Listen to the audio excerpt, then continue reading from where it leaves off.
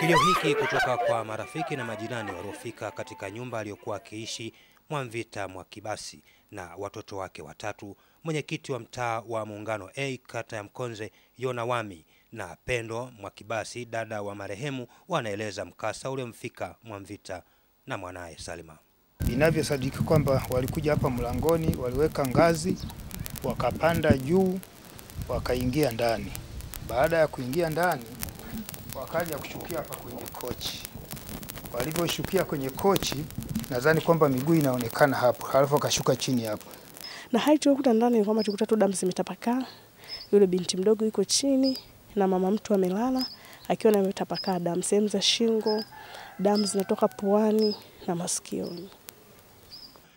Majirani waliofika baada ya kutokea tukio hili la ukatili kwa Mwamvita wanaeleza hali waliyomkuta nayo. Kwa mama tulivyomkuta, mama alikuwa na hali mbaya sana, hakuwa yani, alikuwa damu zinavuja tu, lakini alikuwa asemi chochote, ageuki afanye nini.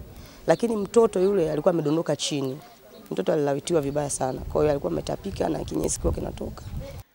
Hapa ni dukani alimaarufu kwa Manka, ni maduka yanayouza vinywaji baridi na vikali, ikiwemo vitu mbalimbali vya matumizi ya nyumbani. Kwa mara ya mwisho aliondokea hapa, si ya kesi, ni muuza duka. Ah, kwa kweli jana alichukua baadhi ya vitu hapa, nikawa nimemwandikia ana bili kama ya elfu nane mia tisa. Akaniambia tu ngoja nisikilizie mchongo, kuna mtu anaweza akanitumia afu nitafanyaje, nitakulipa. Ila tu jana aliniambia kwa kweli mishe mishe zake sio sio sio sio hazieleweki. Kwa hiyo hakuwa na ratiba ile ya kueleweka kwamba atakula chakula, na ndio maana nilivyopika tukamwambia je ale, na tulikula wali na bata.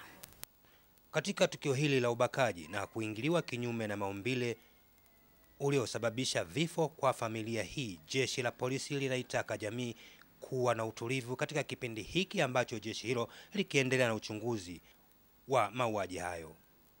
sababu mlikuwa naye yule mama mpaka jana usiku katika sehemu hiyo ambayo alikuwa amekaa na wenzake wanakunywa mpaka saa tatu saa nne hapo usiku, na ni tukio ambalo hata huyu jirani hakulisikia. Kwa hivyo kuwauliza majirani wote, hakuna ambaye alisikia hata kelele au nini. Kwa hiyo nataka kuwaomba wananchi wa uh, Mkonze Maua tuwe watulivu, na hili tukio linachunguzwa, na tunaamini kwamba lazima muhusika atapatikana, lazima muhusika atapatikana. Kwa hiyo isilete taaruki, tunahitaji kuwa watulivu.